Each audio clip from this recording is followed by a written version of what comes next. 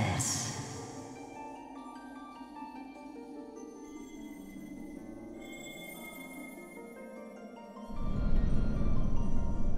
Höre Heidelings Ruf. Die Welt ist davor, ins Chaos zu sinken. Finsternis breitet sich aus. Sie droht zu ersticken, was hell ist und gut. Sie löscht aus, was lebt. Doch dein Licht strahlt hell. Du kannst die Vernichtung verhindern.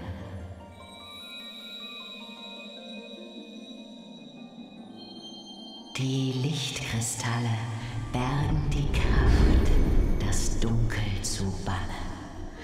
Du musst sie finden.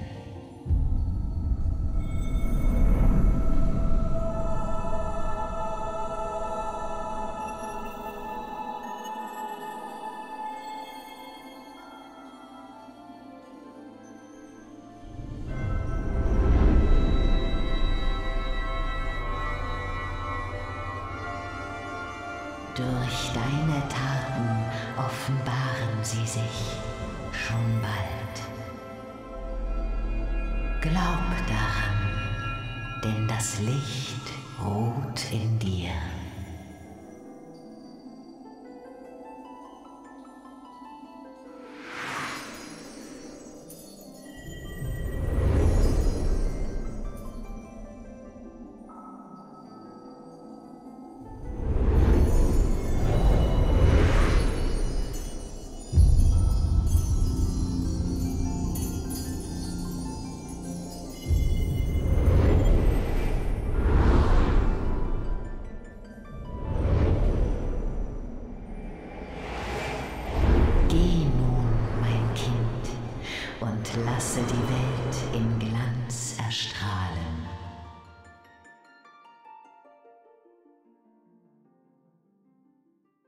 Und damit herzlich willkommen, ihr Säpplinge, zu einer neuen Folge Final Fantasy XIV. Oh, da ist wieder das kleine Morgrin. Ja, das war gerade so ein bisschen wie eine Rückblende. Ganz an den Anfang unserer Geschichte. Oh, Der Äther ist dir wohl zu Kopf gestiegen. Du bist einfach umgekippt. Und wen haben wir hier? ein Ixal. Kommt wer denn hier hin? Den Übeltäter. Das war kein gewöhnlicher Ixal, sondern ein Häuptling. Er hat sich ganz schön weit vorgewagt. Vielleicht wurde er dazu gezwungen.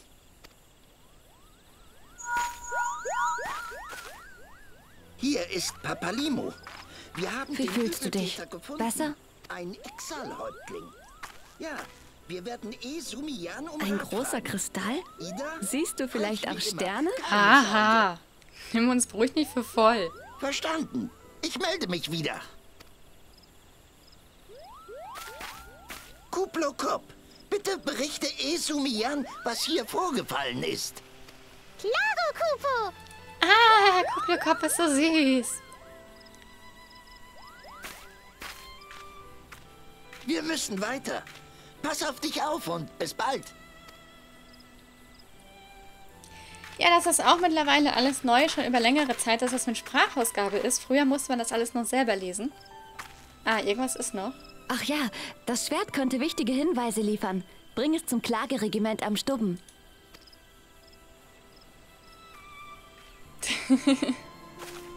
Alles klar. Halt mal. Glaubst du, die Abenteurerin konnte Kuplokop sehen? Na, das fällt dir ja früh auf. Ich hatte zumindest den Eindruck.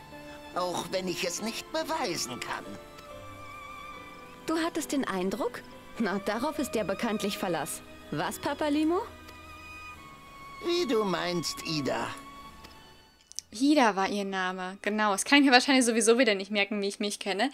Ja, da müssen wir uns jetzt das Schwert krallen und zurück zum Stubben. Zurück zu Galfried. So. Schon fast das von, von, von Artus hier.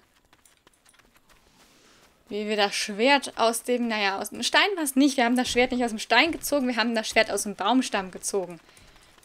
Oh, hier so krass mit dem, mit dem Wasserfall. Ich könnte mich an solchen Sachen so stundenlang, könnte ich das bewundern und mir angucken. Ich finde das so schön gemacht. So, genau, da müssen wir hin. Hier unten bei Gutswieselgrund ähm, ist auch ein riesengroßer Etherit. Den sehen wir hier unten. Da müssen wir aber noch nicht hin. Wir müssen erstmal... Huch. Ja, da ist ein, äh, ein Gärtner ist da unterwegs und klopft auf dem Holz rum, auf dem Baumstamm. Baum, wollte ich eigentlich sagen. oh Gott, ich schon wieder. Velvet, du bist ja zurück. Einer unserer Leute hat Kampfgeräusche gehört, aber war zu weit, war aber zu weit weg, um einzugreifen. Ist alles in Ordnung? Scheint so. Hoffentlich konntest du am Morgri-Stuppen etwas herausfinden. Dann geben wir ihm mal das Schwert und gucken, was er dazu zu sagen hat. Dieses Schwert steckte drin und ein toter Ixer lag daneben? Hm. Nun, das ist auf jeden Fall ein Ixal-Schwert, und zwar ein Zeremonialschwert. Es wird nur bei bestimmten Stammesritualen eingesetzt. Die Ixal setzen sonst kaum einen Fuß in dieses Gebiet des Waldes. Der Mogri-Stuppen ist ja genau vor unserer Nase. Was haben sie nur vor? Das ist eine gute Frage. Was meinst du? Zwei, na, was meinst du? Zwei Personen mit seltsamen Messgeräten?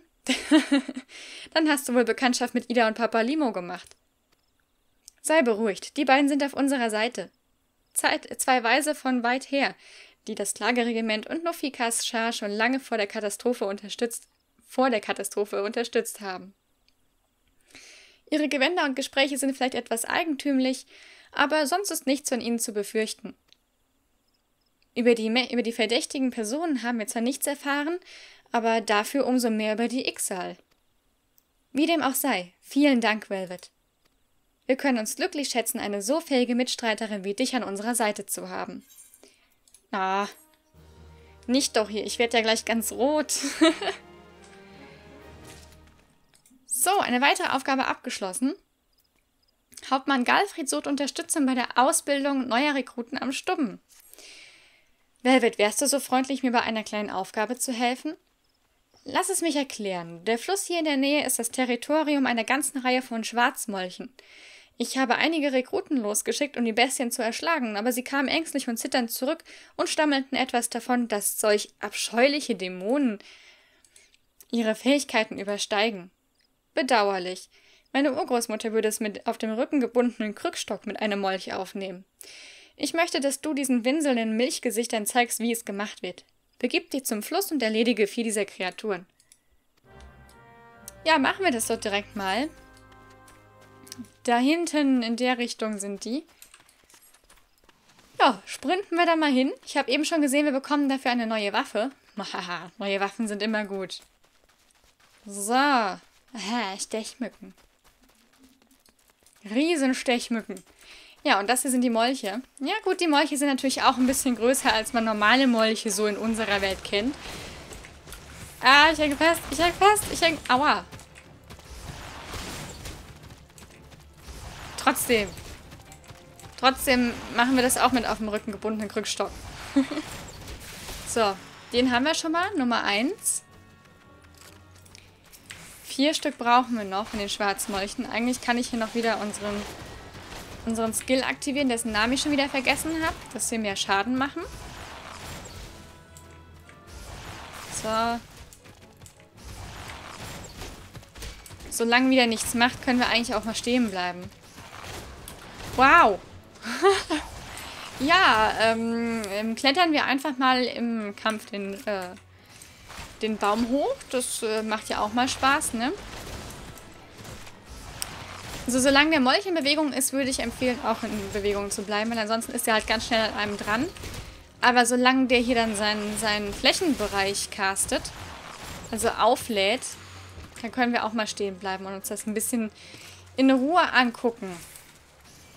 So. Und das ist der letzte Schwarzmolch auf unserer Liste.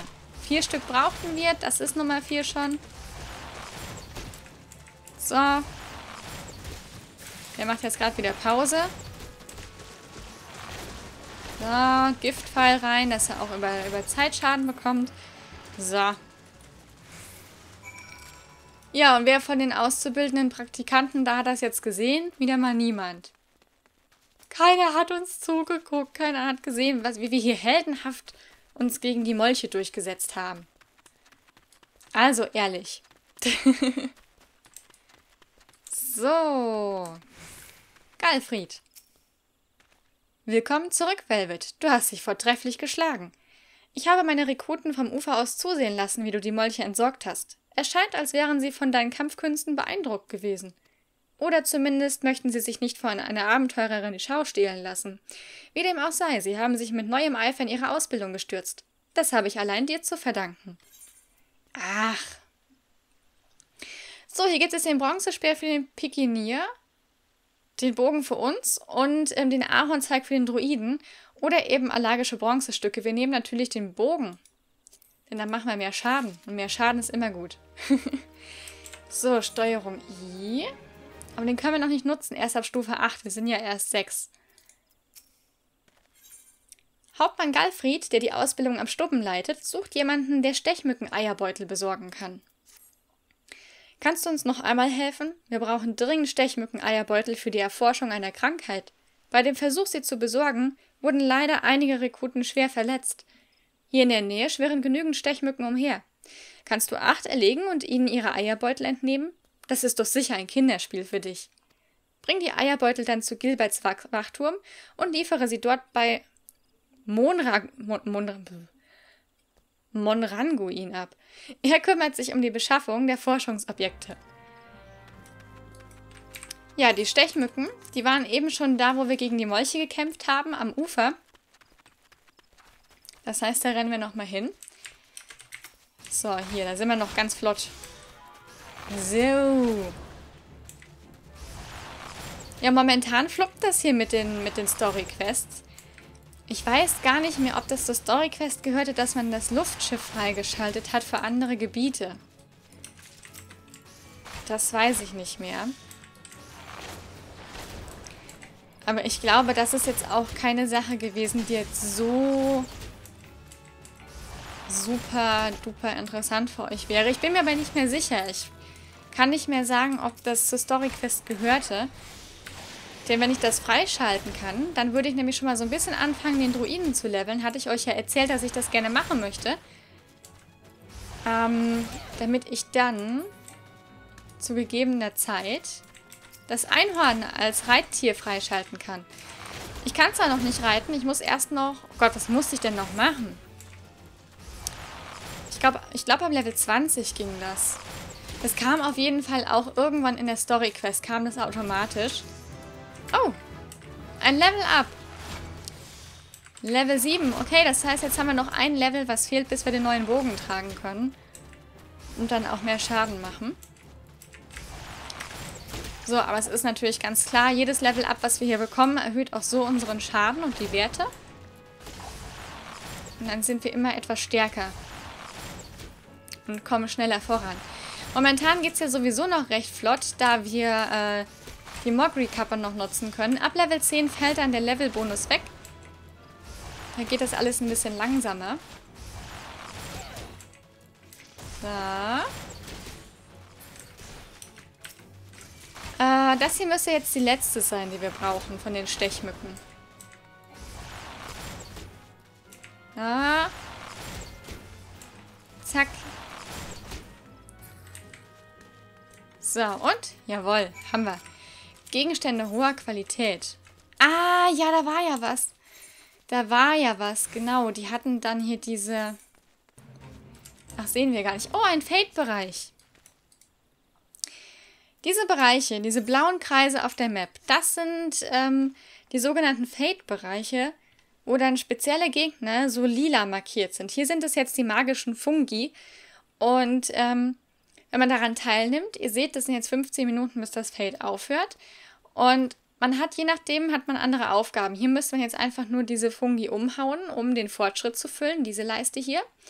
Und je nachdem, wie man sich in diesem Fade verdient gemacht hat, bekommt man Bronze, Silber oder Gold als Medaille und entsprechend viele Erfahrungspunkte, entsprechend viel Routine, wenn man fertig ist. So, hier ist der Monranguin. Hallo, du bist sicher die Abenteurerin, die uns bei der Jagd nach Stechmücken unterstützt. Ich hab dich schon erwartet. Wie viele Leute mich immer kennen? oh, und wie es aussieht, warst du auch schon richtig fleißig. Vielen Dank. Jetzt müssen die Stechmücken-Eierbeutel nur noch zur Jägergilde gebracht werden. Einige Stechmücken übertragen die gefährliche Kettenseuche, musst du wissen, und die Bruderschaft der Morgenviper und das Klageregiment helfen uns dabei, die Überträger zu identifizieren. Früher starben Huran an der Kettenseuche. Nein, früher starben Huran, die an der Kettenseuche erkrankten, mit an Sicherheit grenzender Wahrscheinlichkeit. Einst tobte sie in Gridania so stark, dass die Huran beinahe ähm, ausgestorben wären, doch mittlerweile gibt es zum Glück ein wirkungsvolles Gegenmittel, das die Auswirkungen abschwächt. Trotzdem müssen wir auf der Hut sein und neue Epidemien bereits im Keim ersticken. Also vielen Dank für deine Hilfe. Alles weitere erledigt die Jägergilde. Müssen wir da vielleicht eh nochmal hin? Hier geht's auf jeden Fall weiter. Monranguin bei Gilberts Wachturm möchte, dass du Messeausrüstung, nicht Messeausrüstung, Messausrüstung zurückholst, die ein aufgeschreckter Rekrut in einer Höhle zurückgelassen hat.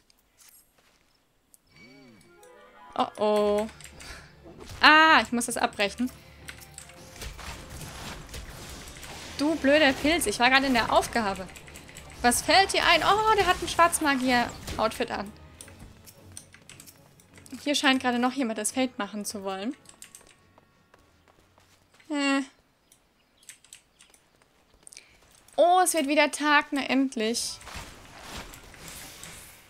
So.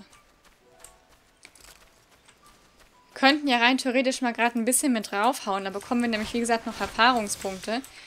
Die, die lila markiert sind, äh, da haben wir nicht den meisten Schaden drauf gemacht. Die, die rot markiert sind, das sind quasi unsere, die für uns zählen.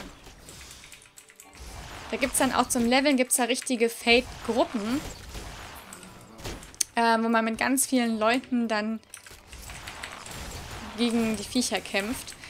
So. Ja, für Silber oder sowas sollte das schon reichen. Machen wir hier mal weiter. das machen die schon. Das sind ja starke Männer. So. Also. Die Messausrüstung. Jetzt habe ich schon wieder weggeklickt. Ah, haha.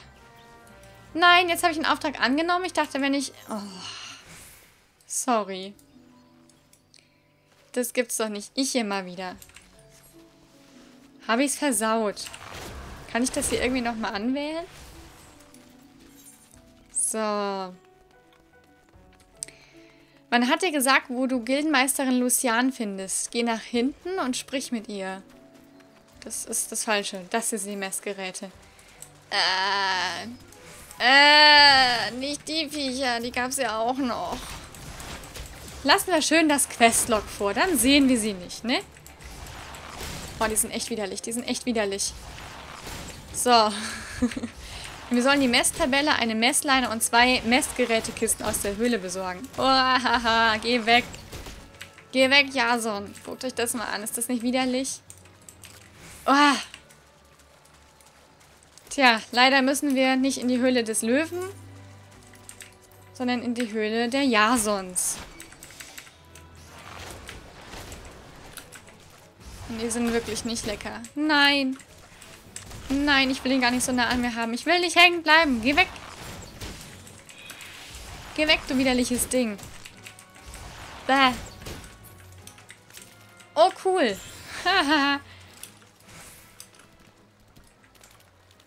Sehr gut, der hat die gerade alle an sich dran kleben. Das heißt, wir können hier jetzt in Ruhe die Sachen einsammeln. Hier ist die Messgerätekiste.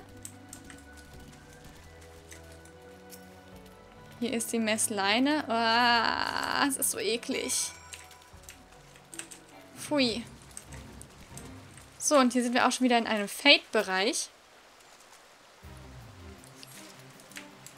Da. Die gehören jetzt hier dazu in dem Fall. Können wir auch mal anschießen. Dann haben wir nämlich auf jeden Fall schon... Äh oh, die sind ein bisschen stark. Oh, dem mache ich ja kaum Schaden. Da ist noch einer. Oh, da kommt wieder so ein Vieh. Lass mich in Ruhe. Oh. Der hält ja ewig viel aus. Das wäre cool, wenn uns... Ja, die macht auch noch mit, die Niki. Und schon hat sie so eine Gruppe gefunden. Es ist jetzt hier, in dem Fall, ist es äh, nur ein Gegner. Ihr seht, so wie hier das Leben abnimmt, nimmt hier der Fortschrittsbalken zu.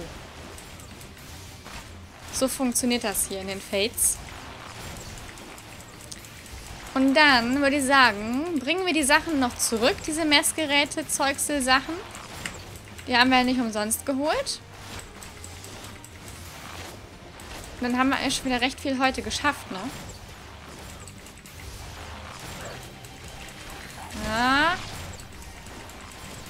Haben wir gleich. Ich weiß gar nicht, wie viele Erfahrungspunkte das bringt. Aber es sollte auf jeden Fall recht ordentlich bringen. So, und Gold haben wir geschafft. Es gibt 1080 Routine und 14 Kill. Ja, das ist nämlich wirklich äh, sehr, sehr angenehm. Oh nein, uns fehlt noch was. Oh nein. Was fehlt uns denn noch? Die Messtabelle. Fehlt uns noch. Och nö. Nein. Äh. Augen zumachen und hoffen. Nein, es klappt nicht. Oh Gott, ich will euch nicht alle.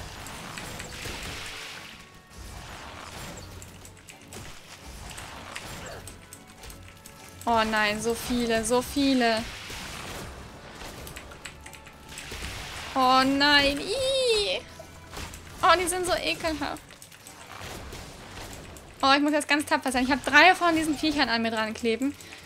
Ne, echt würde ich sterben. Oh. So, noch letztes Mal Gift drauf. Jetzt haben wir schon mal einen weg.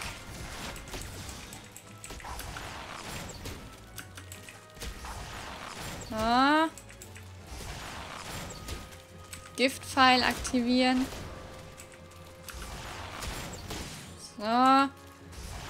Eine noch, der Rest sollte reichen. So, jetzt haben wir noch einen. Komm.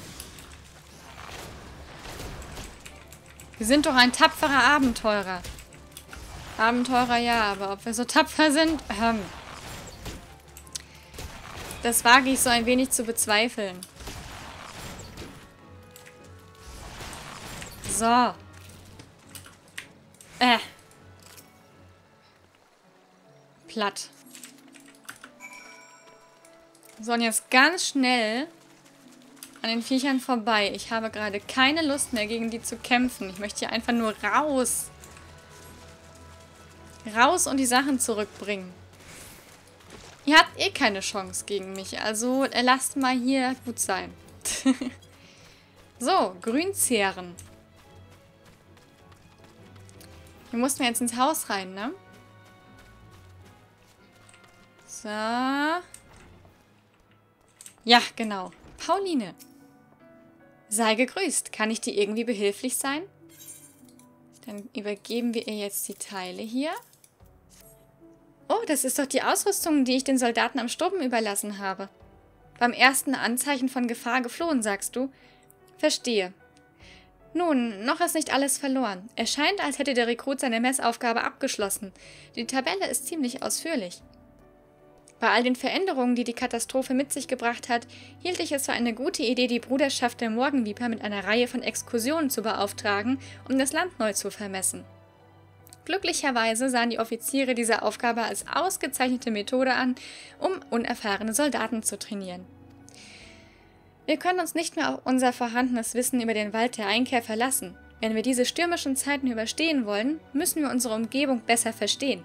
Bleib wachsam, Abenteurerin. Und wir bekommen eine Hose.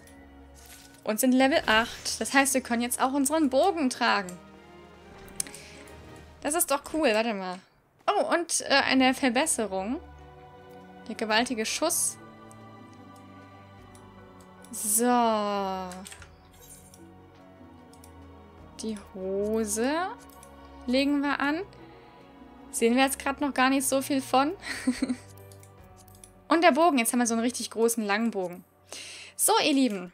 Aber ich würde sagen, das war's dann mit der heutigen Folge, die sehr, sehr lang war. 25 Minuten, meine Güte. Ja, und dann sehen wir uns morgen wieder und gucken mal, wie es weitergeht mit der Geschichte. Also, ihr Lieben, danke fürs Zuschauen und bis zum nächsten Mal. Tschüss!